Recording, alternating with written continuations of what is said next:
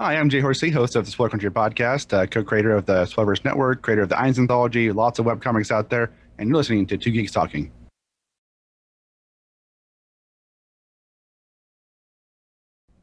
Good morning, afternoon, evening, everyone. Two Geeks Talking is an entertainment industry interview show where we interview the creative people from the comic, film, TV, movie, and video game industries. And of course, I'm your host, Kurt Sasso. We're joined today by a returning guest. He hasn't been on the show for a couple of years because the bugger is busy as all hell with his Spoiler Country podcast and show, as well as 10 other shows that he's running as well too but there's five that we'll talk about here today. We're joined today by the ever talented jay horsley. How are you doing today jay i'm doing good man thanks for having me back on appreciate and, it and at least i said your show right this time instead of county you know? right i would laugh hard about that oh, that's funny we've known each other for a while i've known you've done a podcast for a long time as well too so it's good to have you back to talk shop basically for this here for those that have never heard about, of course, Spoiler Country or anything along that line. How did it start? What is your role? So, Spoiler Country started as a conversation between uh, my wife's uncle and myself. Um, he's like one of my best friends. Uh, he's big into comics. He's a nerd. Um, he's a couple years older than me. Uh, we would talk at like family functions about comic books and movies and stuff all the time. And then one day we're like, we should do a podcast. We should do our YouTube show or something. And um, we started planning for that, and then uh, eventually we went and saw Kevin Smith in Bellevue, and uh, the end of Kevin Smith's show was like, "Hey, if you want to do something, just do it. You might fail, but if you failed, at least you know you tried." And we walked out of that show going, "Screw it, let's do it." So we started our show. Uh, we recorded our first episode on uh, July second, twenty seventeen, and then released it. And then we've been going like crazy since then. Um, so Spoiler Country has been going strong since July of 2017 uh, we're four years in now, and uh, you know we're over. We're about to hit episode 800 here pretty soon, nice. and uh, we're you know going kind of crazy. So let's put this into perspective, okay? so just so that everyone knows how difficult it is to get 800 episodes. I don't know how far back it was for Two Geeks Talking, but we've passed our thousandth epi- episode a while back. I, I don't know when. I don't know. I can't tell you who the thousandth person was. but you've almost reached this point with a thousand interviews in almost half the time that we've been running for 12 years. Fucking incredible. So congratulations on that. That's a, that's amazing. Thank you. Thank you. Yeah, we're nothing if we're not, you know, tenacious about getting stuff done. it started with just the two of us and it's ballooned up to now we have six people who do interviews with us um, and a whole team behind the scenes working on the website and other stuff. Uh, that's kind of crazy because it's literally just two guys being nerds, you know, we started talking just about comic books and movies and all that kind of stuff. Then we started getting guests on, and then now we got a a, a, a booking agent for um, booking people for us. We've got you know three people that aren't Kendrick or me doing interviews with us.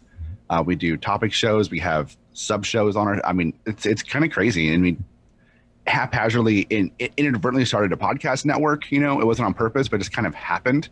Um, that's going really well, and uh, it's it's kind of crazy because we this is just a hobby for fun. It's turned into something a little more serious. I'm very humble about how, one, how much we've been able to do in the last four years, and two, the amount of people we've talked to and who we've talked to is is, is humbling.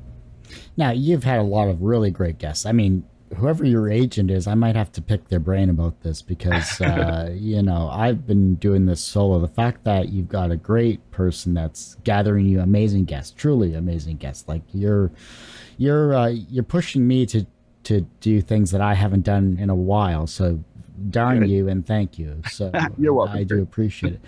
But talk about some of your, your favorite guests that you've had on the show. Obviously, I mean, four years is not a lot of time to put 800 episodes. So that's what, yeah. 200 a year, basically? That's that's incredible. Roughly, yeah. Roughly. Yeah. Like, who are some of your favorite guests that you've had to, uh, you yourself have had a chance to talk with?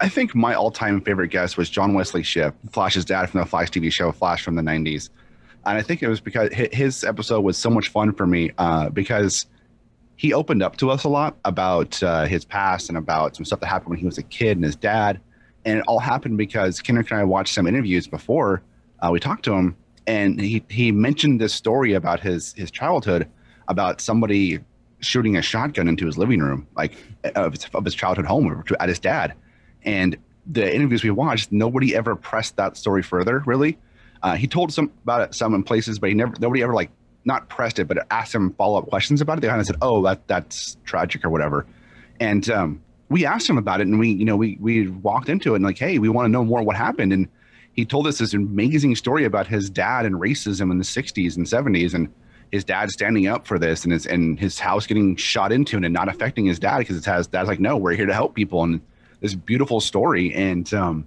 it just ended up being one of my favorites because it we walked out of it with I felt like I walked out of that one knowing something new, you know, learning something, and I, that's what I love. Um, it was the same way with Stephan Franck, and we had Stephan Franck on, who was the uh, he was the animation director for the Iron Giant.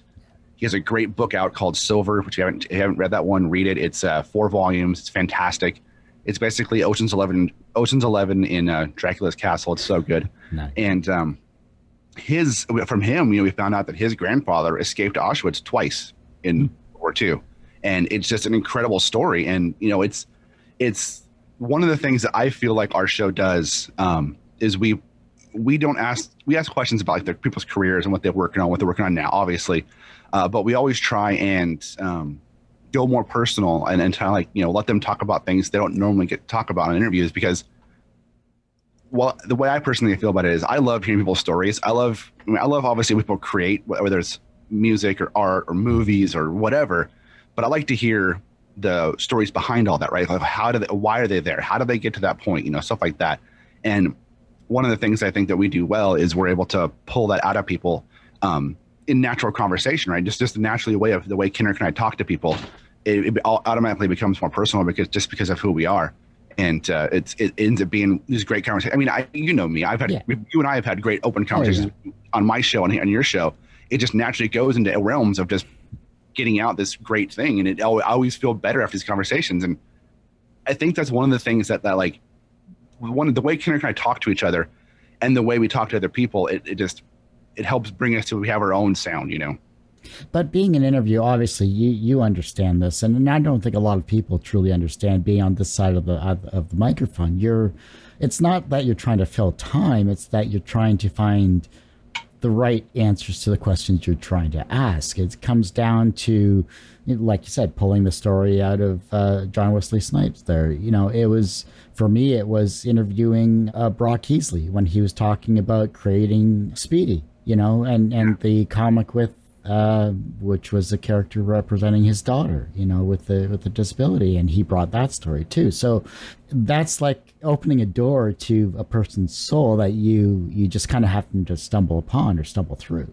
Yep, exactly. It's great, exactly. and it's a great feeling too, especially when you walk out of.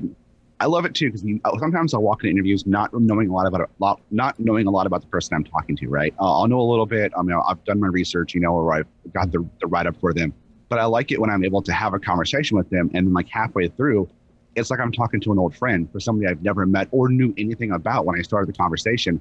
And in that conversation, it's like, man, this was a lot of fun.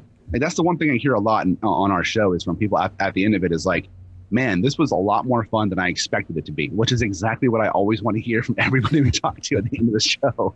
But it comes down to to comfort as well too. You're right. Yeah. You have you have a very limited window usually, especially even if you schedule in advance. You still have life. You still have to find that balance between your life and and the show itself, and you have to figure out what can I take the time to research on and, and research about this person that I can gather you know five or ten questions to to get them to fill a half hour to an hour. Yeah, exactly, exactly. My my approach when I I don't do a lot of interviews personally anymore. Um, most of what I do at the Spoiler Country these days is um, I do all of the back end work. Um, I build the website. I do like 95% of all the audio and video editing. I handle all of the posting. I make all of the graphics. I do all that stuff. And that's specifically because we do a lot of interviews and we have other people to do the interviews. So I focus on all the back end stuff now. I do a lot of our other types of shows. You know, we have interview shows. We have we have the Make My Marvel TV subseries, which is basically uh, Kendrick, myself, our friend Sumner, and Casey I'll meet up and talk about the current Marvel TV show or movie or whatever. Um, Kendrick and I do things called Tots, Tangent of Tangents, where it's just us BSing about you know whatever.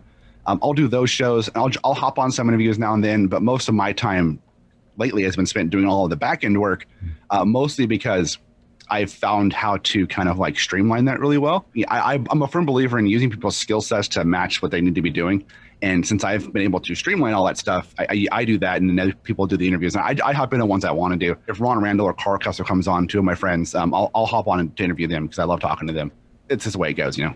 You've done a, lot in this short amount of time, and that's that's great to see. And and the fact that you know people who've known you and and who know about you and who've heard your show, heard you on our show as well, you know, know that you're into comics, that you're into creating comics, you're into writing, you're into doing all of these other things. The fact that, you know, you're married with an amazing family and that you still keep producing this top quality content is just great to see. As well as, you know, the fact that I don't know how you sleep, to be perfectly honest. Short spurts of it? I don't know. Um, I, I, you're right. I love doing making comics. I mean, when when I first met you, I was doing web comics, and yeah. uh, I was doing Y2CL and Inanimate, and, and I think I had like seven web comics I was doing at the time. And you told me I was insane, and you're not wrong. I was. Mm-hmm. Um, and then you last, you know, I, I created the Eins Anthology, which I'm actually working on um, the uh, sketch covers for. Oh, can't do that, but it's yeah, one of them I did uh, for the Eins Anthology, and then like I did this one recently too. Yeah, I'm working on the sketch covers for the the backers and a bunch more stuff while I'm sitting here and then working on launching book two here pretty soon for that. Nice. Uh, and I got like three other books in line that I'm going to launch, but I'm not going to launch them until I get other stuff done. You know, I'm the kind of person, um, as you know from our previous talks and knowing me for 12, 15 years, however long, however long it's been, I can't not be doing stuff creative. I, go crazy. Like I have to be doing, I have to be drawing something. I have to be doing the podcast stuff or writing or, or something creative, or I just, I just go insane. I, I can't sit idle. I don't like sitting idle for anything.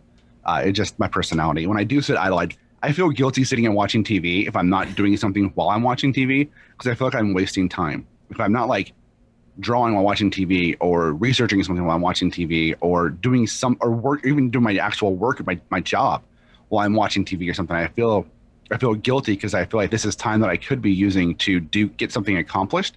Now I know there's, I'm working on this whole there's the importance of learning how to relax, right? Learning how to like just let your mind go at ease that's not super easy for me. So I got to find ways to make that happen. But for my webcomics, you know, I created over 3,000 pages of webcomics that I have sitting on the computer. I've, I've published, you know, a couple books here and there in the Eins Anthology, which was a bit of an undertaking. It's more, more of an undertaking than I thought it was going to be when I started it.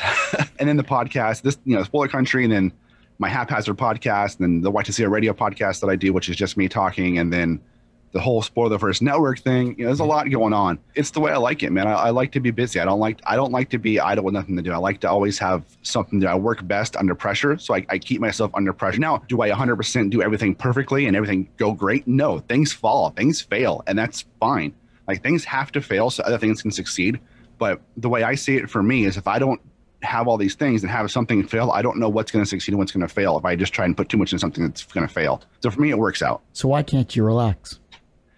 I don't know. I've never been able to sit and relax. I mean, the only time, I, honestly, the only time I've been really to, able to relax with weed, you know, if I, and I don't smoke weed a lot, but, or really ever, but like if I do that, then I can shut my brain off. But besides that, I just, I have this constant need to just be busy.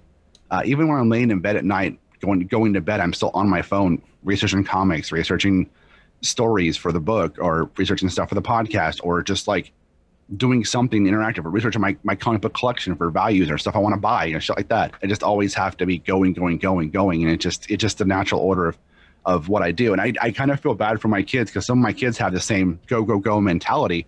And I see it in them and I'm like, this can be great, but we, you gotta, you gotta learn to prioritize, which is something I still struggle with is learning how to prioritize what needs to be done now versus what needs to be done that's easiest. It's a really hard balance that I'm even at almost 40 years old, I'm still trying to figure out. I've interviewed a lot of people in 12 years like you've interviewed a lot of people in 12 years. Do you can see similarities in your own personalities and different traits of how people work. People that are driven to constantly create like you are like myself like a lot of other people that we know in the same circles whether or not it's it's just how they're wired or whether or not it's a deeper you're still putting content into the world. You're still putting yourself into the world. And whether it, whether or not it sticks or whether or not you know you think it's the best thing ever or whether or not you just needed to put something out there of yourself you know mm. people are still going to look at it and they're still going to you know ad- admire you for what you're able to create. So there's positive and negative to that type of mindset but yeah. you're you're taking it to a positive aspect where you're constantly creating and constantly making great stuff Thank you. Thank you. Yeah. And for me, to kind of go back on what you said there, for me personally, like I would love to have my creation stuff, like my comics, my writing, my podcast, all this stuff that I do, um, be a career and make money off of it. But if I'm being 100% honest with anybody, and I've, I'll tell this to you because we're friends on your show, I don't care. Like I create my books and all this stuff. It's 99% for me um, because I want to get it out there. I would love to make money on my books and this stuff, but honestly, I don't really care. If I can just get out there and get people to read it, I'm happy. Like I've given away so many books and so much stuff to people just so they could read it. Uh, that it's, it's it's not for me. It's not about making money. It's about getting these creative ideas out of my head onto paper, and um, having something to show for these all these ideas I have in my head. And same thing with music. Like I've I've recorded so many songs, and like I've never once tried to make money off them because I one, I just don't. I mean, I care about money, but like I got a really good job, so I don't really need to make money off of this stuff.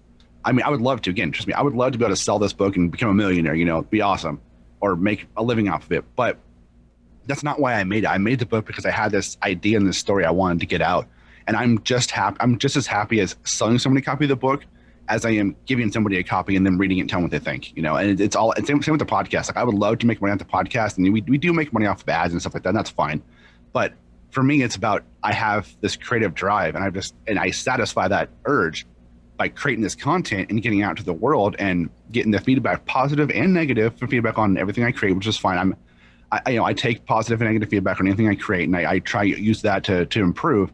But for me, it's just really about getting it out there and people seeing it or reading it or or just sharing my ideas and my myself with the world. That's the reward for me. Again, I would love to make money off this stuff. My personal goal is just to satisfy these urges in my head to make these things happen. From a technological standpoint, obviously, when I started this show, I was using something called TalkShoe. That's actually still around. It's part of the. I Blue, remember. it's part of the Blubrry Network. It was the shittiest audio quality ever. Like, Dude, I remember the little the oh. doo doo doo doo TalkShoe. yeah, how not to plug your show. You're listening to TalkShoe. It's like, okay, right. cool. Am I on now? No. Uh, all right. That was so bad. The audio quality was so bad on that thing. God, it must have been like 64 hertz, uh, 64 whatever. It was 12, anyhow. Anyways, yeah, yeah. The long story short, it's when they wiped out my archive, which was 10 years of content, which still pisses me off, by the way. Which happened to uh, several people. Yeah. Like, and they're like, oh, well, you could just re upload it. What if I had lost it all? Yeah. Which is why I've always meticulously backed up all of my shit because I don't want to lose anything. well, I have six hard drives, and they probably have a copy each of this of my past interviews. Yeah. But technology has improved a lot. I mean, we're using Zoom currently here. Obviously, there was the Google uh, the Google Chat area that yep. had its aspects. Skype was a huge thing, part of the show for a while too. How about yourself in terms of t- technology? What are you using for your podcast, and what are you using for your interviews? Your video interviews, I should say.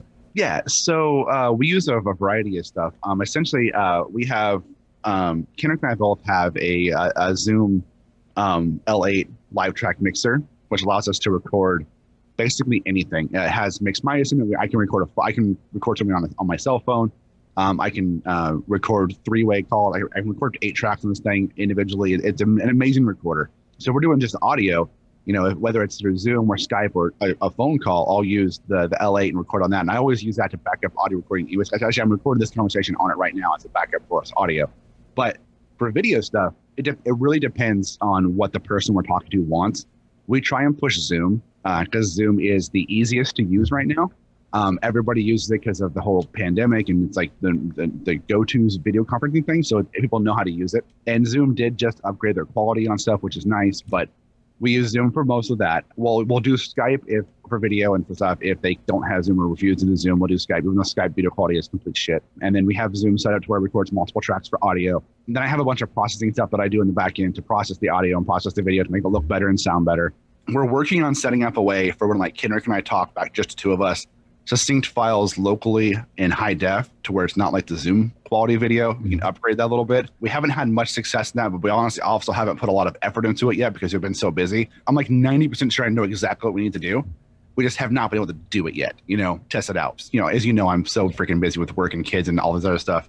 Outside of Zoom, you know, we'll take it and I'll throw it into, I take the audio tracks, I throw them into Audacity, I convert them to WAV files Um, I run a plugin called um, RX uh, Voice De-noise that kind of goes through the audio clips and takes out any kind of like artifacts. It really cleans up the audio pretty well. Once it's do that, I export both tracks as a wave. Take those two tracks. I'll run each one of them separately through a program called Levelator. Takes your sound and makes them level to one high. So there's no peaking, no lows. So if, if like let's say I'm talking like this, and then I, I come out and I talk like this, and I come in like this, it'll level all that out for you. And it'll make it sound really good. And it's like it's about 97 98% accurate meaning like out of every 100 files i do i might have like one or two that have a weird peak in them for some reason um, but nothing major. As long as you don't level music and it's just like vocal tracks or talking it does a really really good job. So then i have you know two tracks that are both levelated and rx voice de-noise so that it's, it's cleaned up like probably 90% of all the artifacts and nasty shit in audio I take both those tracks back in, I throw them back into Audacity or, or really any audio editor, but I use Audacity because it's free. And I don't use the new Audacity, the 3.0 with all the weird stuff. And I use I use an older version that doesn't have any of the weird privacy concerns that's going on right now. Throw them back into there, and then I take them and I'll mix them out as one track, as a mm-hmm. combined track. Then I take that combined track and I throw it into a program called Descript. Now, if I have video with the like this, like if I was doing this one here, I'd have that audio track. Now I have a one clean track of a combined of both people talking, cleaned up and ready to go.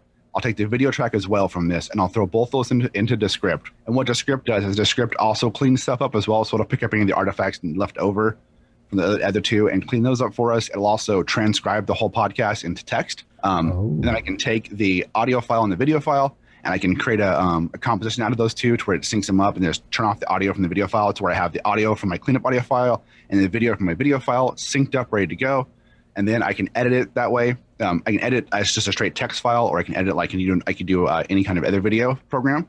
But what's really cool about Descript, why I use it, is you can actually highlight all the audio, all, all the text, and you can go to remove filler words, and I can say remove all the hms, ums, and ah, ums, and ahs, and uhs, and all kind of stuff.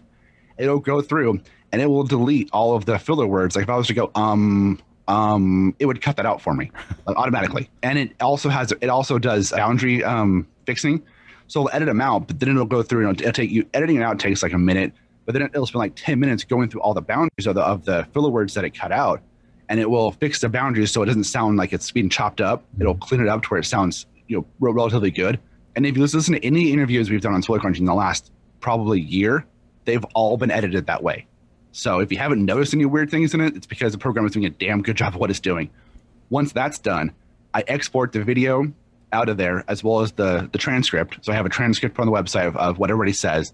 And the transcript's like 90% accurate. Some of the words don't make sense, but I mean, if you read through it, it kind of you can follow along. I have then I have a video file that's edited down, ready to go. I take that video file, I'll throw it into DaVinci Resolve, and then I'll add all my like fancy stuff to it there, to where it's like you know adding the names and the, the bottom text thing and like the intro and the outro and stuff like that in DaVinci. Export out of DaVinci. I have the DaVinci MP4 file, which is my video file. Upload it to YouTube. I'll drop that back into Audacity. Export that as an MP3. Upload that to the website, and then I've got my video on YouTube and I've got my audio on the website for the podcatchers. And that's kind of like the quick way of how I do all the editing. Most of this, as if, if you probably picked up on that, most of this is like not actively editing. It's drop a file, let it do its thing. Drop a file, let it do its thing. Most of my active editing comes when I'm doing put, putting the video stuff on there. But really, unless I want to add fancy stuff like cuts and stuff like that, I don't really have to do a lot because the video is already done. And most of what I do, since I don't have time for it, I don't do a lot of fancy stuff to it. I'll put transitions and kind of add stuff where it makes sense. I don't go through and add. I don't do like what like will do and I add a lot of like pop ups stuff. And I wish I could. I don't have time for it, but it's pretty simple to do. A lot of it's passive editing. Really, even, even DaVinci doing that, adding the intro, the outro, and all the cuts and, the intros are the uh, transitions. 15 minutes and then export it. And the, the render, DaVinci actually renders off my computer. Uh, an hour long video podcast will render in about 40, 45 minutes. That's so it's, I mean, then it's just, and I can still do other stuff while I'm doing that. I still, it's kind of crazy. I have, I have four monitors set up here. I've got like, you know, two right here and two over here and so I'll have like the one up here editing DaVinci and stuff like that. I'll have the one over here editing and editing audio. So I'll be like processing multiple files at one time. It's kind of it gets it gets kind of crazy. Yeah, it's kind of the process. Graphics. Um, I have a template made for graphics. I also I have a template in DaVinci too. So really, I just drop it in there, put the file there, clean some stuff up, and it's good to go. Templates are the best. But for my graphics, I have a template, so I just drop a file and I drop a graphic into the into the Photoshop, change the text for like who we're talking to, whatever it's about. Um, I might do some like fancy, not not really fancy, but do some kind of editing on the photo to make it like pop. Cut the person out and change the background to black and white, or or put a glow on it, something to make it like pop. And then I save it out, and that takes me like a minute to maybe ten minutes if I'm doing something fancy with the, with the graphic. Yeah. Then it's done. Like ninety percent of my editing of stuff is really all passive background stuff. It just takes time. Like each each plugin takes time, you know, 10, 20, 30 minutes to run. But I'm not actively doing anything. I just have it processing, and then I'm coming back over here doing other stuff, have it processing. Talking about technical stuff here, man. I've got in my garage, I have five rack mount servers um, set up with uh, 396 gigs of RAM and an ungodly, and I think I have 192 CPUs I run on them. I have virtual machines set up on those. And sometimes when I'm really deep into it, I'll have virtual machines going and I'll have audio files processing on, on various virtual machines. We have 800, almost 800 episodes. You know, we've got probably 50 in the queue waiting to go up.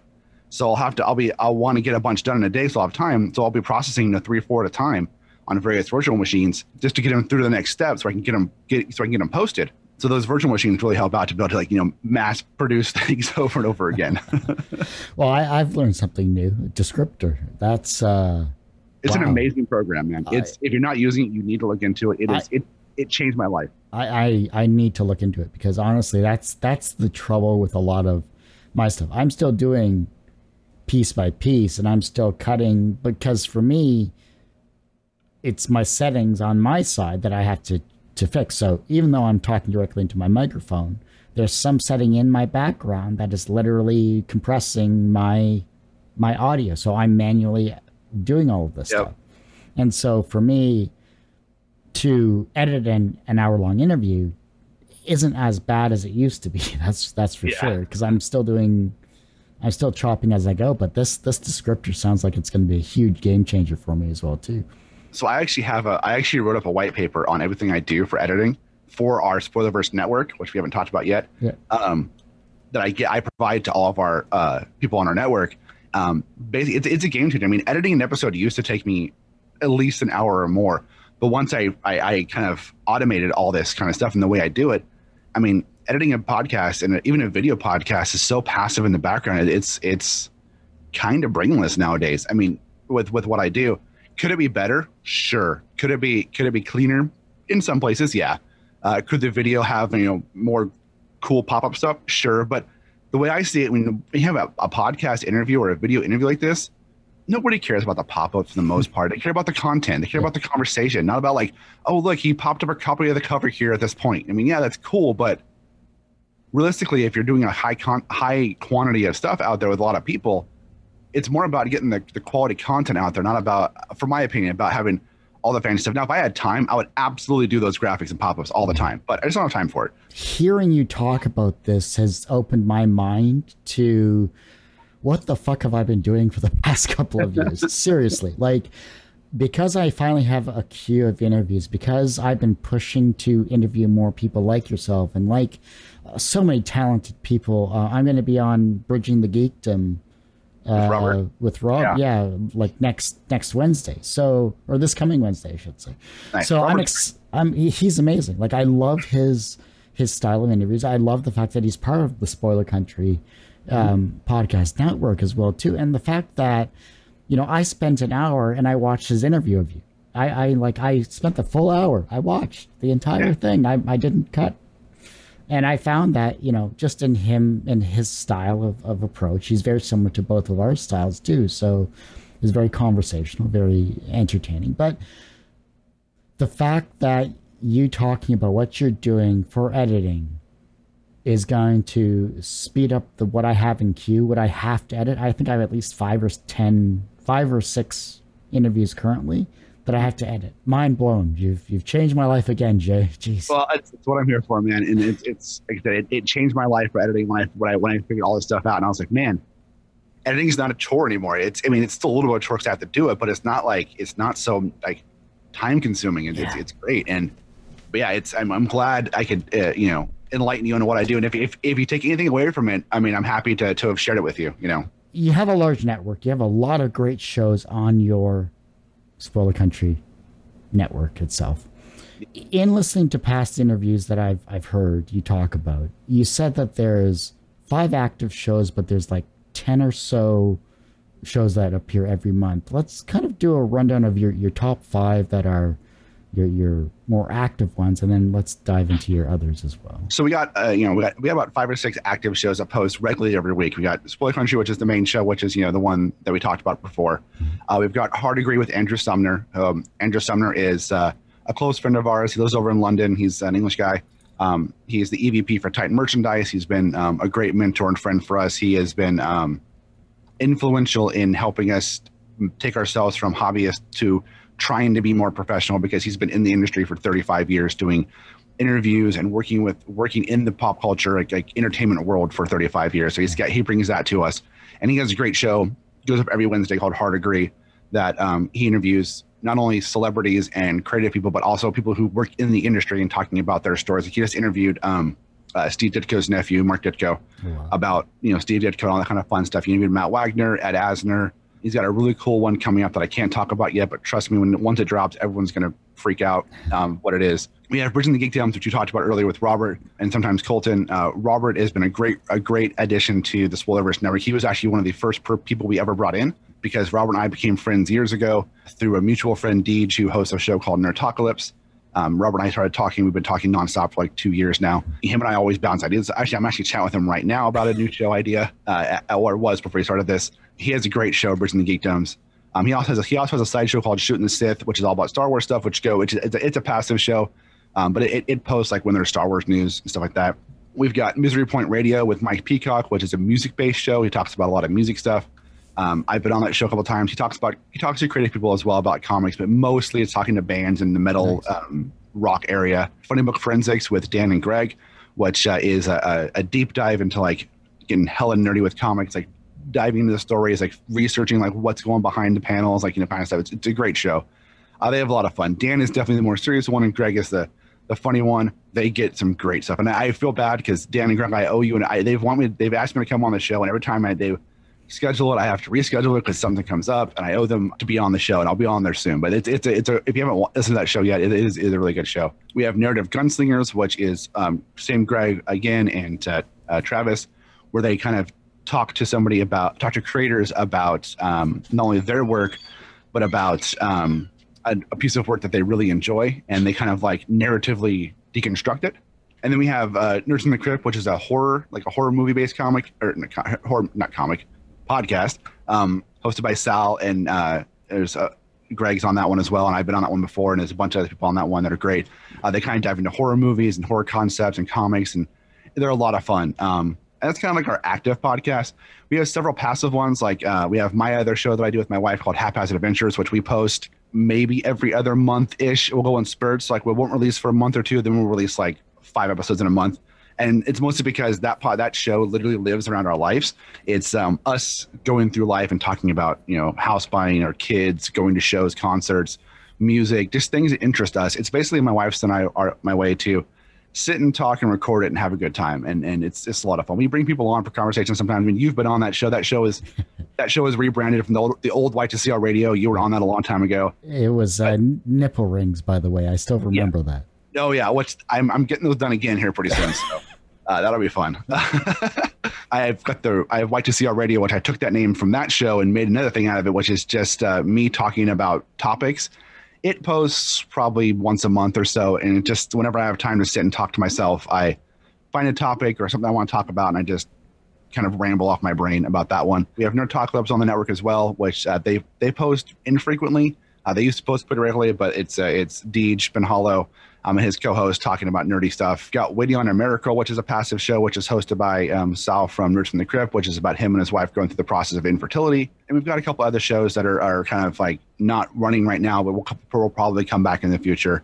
And then we've got a couple of new shows that are um, talking to us to come on the network that are more active shows uh, that we're in the process of talking to. I think we have two current people we're talking to for that, that have come to us or we have talked to about joining the network nice. um, that are both pretty active, um, which should be pretty cool. And, and both the shows I'm a fan of. I like both of them a lot. So I'm, I'm excited. I'm, I'm hoping they both work out. You got to keep growing it. Obviously, you're you have so much content to put out there, and it's going to overflow to the masses to say, "Hey, look, you know these shows are are extremely active. These shows are in your wheelhouse to listen to.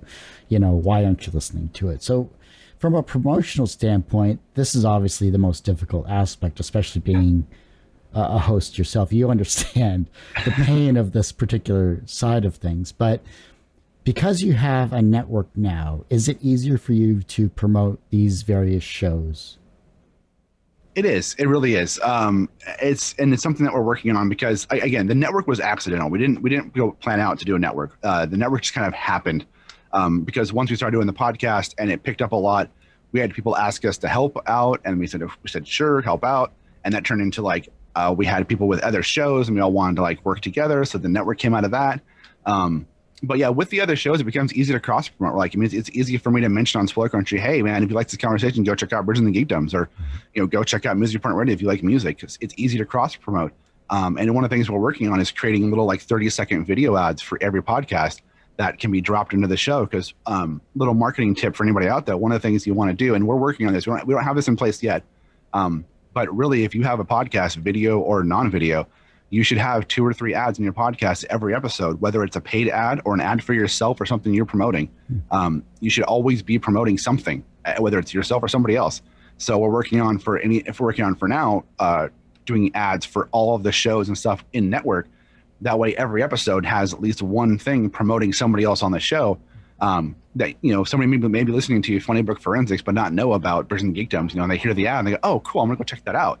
I mean, I found lots of podcasts from other networks who are who are promoting a podcast in their network. So it becomes easier to promote that way. And also doing a guest appearance on one of the other shows is a great way to to promote. Like if have, we have Robert come on Spoiler Country, it's a great way for him to promote his show, you know, stuff like that. Or if you came on to our show, we could promote TGT really easily, you know, like that.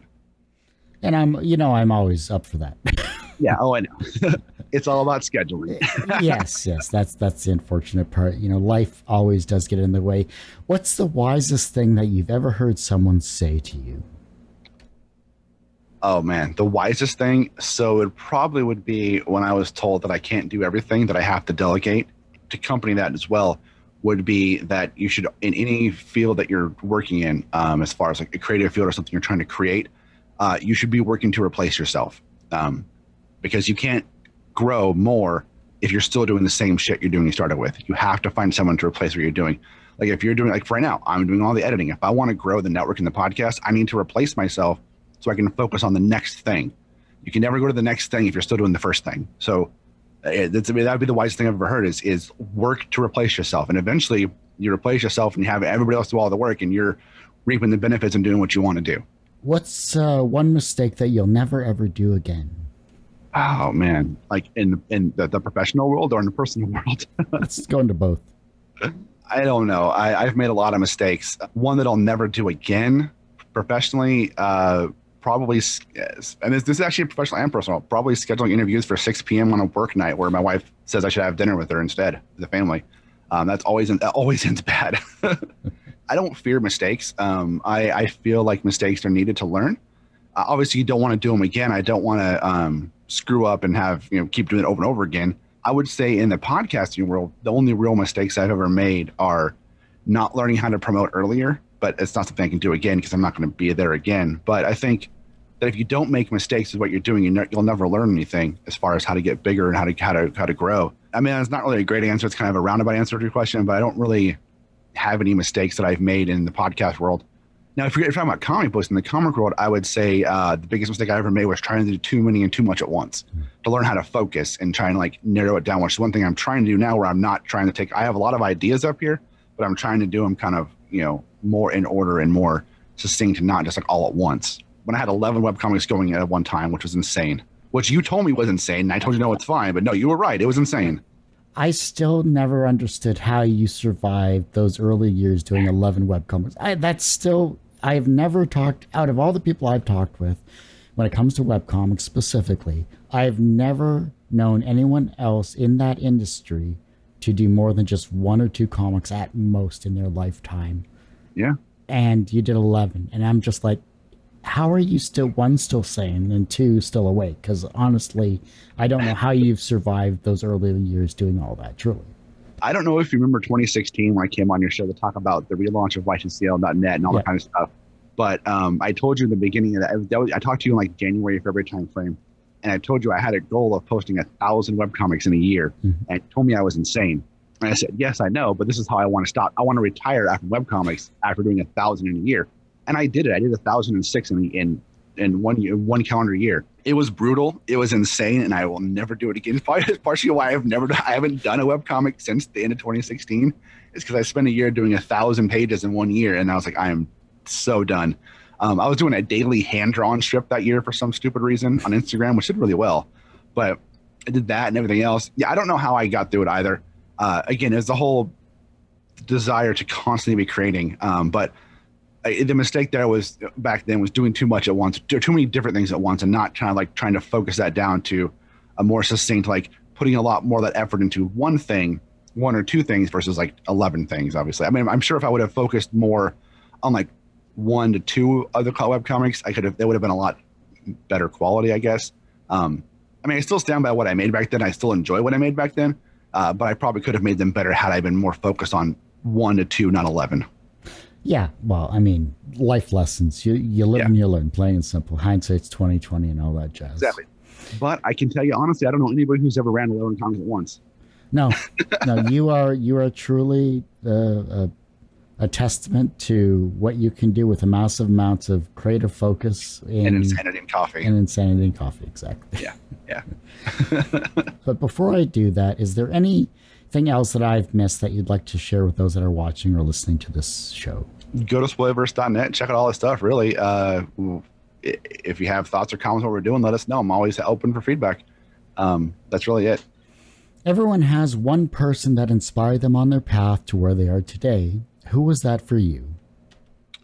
So my biggest inspiration for my life is my dad. Um, put the creative bug in my brain um, as a kid. He uh, got me synced on pop culture and comics as a kid. He's the reason why I love comic books. Um, you know, he's the reason why I got into music when I was in, in high school and junior high. Uh, it, it, really was it was him who him and my mom too to some degree. Uh, but my dad had the creative bug as well. He he was a musician and stuff like that. Uh, he pushed me to to follow what I wanted to do, you know, and I did. From a professional standpoint, you've been a webcomic creator with over eleven web comics. Still insane. You're also the host of a great show, and and you're the co-creator of the Spoiler Country podcast network. You've done such a lot in so many varying industries. Do you consider yourself personally successful, though? I do consider myself personally successful. Um, I, am very proud of everything I've done. Uh, from my first webcomic in 03 to the podcast that I created in 2017 to the network in 2019 to all the stuff I've done. Um, I think it's great personal success as far as as that goes. I mean, I love what I do and I feel like um, other people enjoy what we do as well. So that's a huge win for me. The reverse of success is failure. How do you deal with your failures? Uh, at first, it makes me mad. Um, if I fail something, I get upset, like anybody I really would. Um, um, but I try and look at the failures that I make and, and turn them around and see what I can learn from it. You know, uh, it's a learning process. Everything's a learning process. If you fail at something, then you know what not to do next time. Uh, I'm not always the best about not repeating it again sometimes. Uh, sometimes I, have to fail the same thing twice to learn it, you know, just like an idiot. But I, uh, you know, I look at failure as a mode of what I did wrong to success, and I firmly believe in life, not just creative, but in anything. Um, you learn more from a failure than you do from a success, right? If you have to go out and try and do something, and you fail the first time, the next time you do it, you're going to do it better because you know what not to do. So I look at failures as a way to succeed better the next time the younger generation is looking at your work. They're becoming inspired by what you are doing creatively. Maybe they want to become a podcast host, or maybe they want to become an editor, whatever they'd like to do. Obviously, you have the younger generation currently with you, so they're being creative by technology in their own way. How can they inspire the generation that follows them? I think it's easy. Uh, if you want to do something, you just do it. Uh, learn how to do it. Get in there and get your hands wet. And if you want to inspire people to do it, you do it with positive attitude, and you do it. You do it with good intentions um, you get out there and you, you create things you want to you would want to consume right if there's there's two modes of creating right you can create for money you can create for content right you can create for yourself or you can create to make money um, either way if you do it with passion and love you're to get you're to create good stuff and the best way to inspire people behind you for the next generation is to show them that what you're creating is you're creating for a purpose and uh, you're doing it with with love and passion no matter what it is as always, John, you know, I hate to say it, but that ends this particular episode of Two Geeks Talking. Um, I'm glad you're doing well. I'm glad you're creating a, a, great creative network that you are when it comes to all these amazing podcasts that you have. Uh, we'll definitely get you on in the future. And, you know, as always, if you ever need another co host interview, whatever, just toss me a link like you have in the past, and I'd be happy to help you out. Oh, I definitely will. And I'm going to have you come on the show to chat with Kendrick and me on, on our show sometime soon, too. That'd be awesome. Well, uh, check out, of course, Jay's work and, of course, everything that he's done on his website, uh, scpod.net. It's in his lower third. And, of course, as I say every week, everyone has a story to tell, and it's up to me to help bring that out. Thanks for listening, watching on Two Geeks Talking, where who knows who our next geek is going to be, but I'm sure you're going to enjoy whoever they are. Thanks a lot.